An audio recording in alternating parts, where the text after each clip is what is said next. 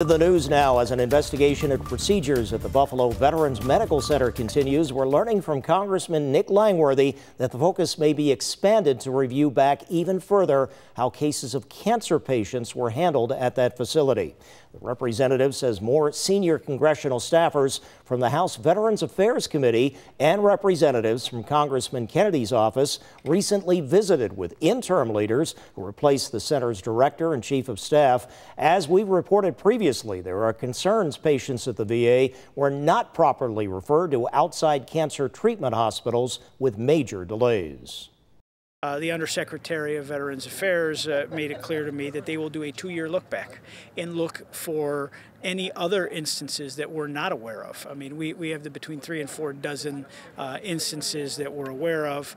Um, they are contacting those families, they are finding out what the current status of those situations are uh, and where they are in their care plan. Um, and uh, if, if they're still with us, but also looking back to see was this a more systemic problem for a longer period of time. Congressman Langworthy says those new interim managers and staff are resolving the backlog of referral cases, and overall he feels the Buffalo VA Center does provide good patient care.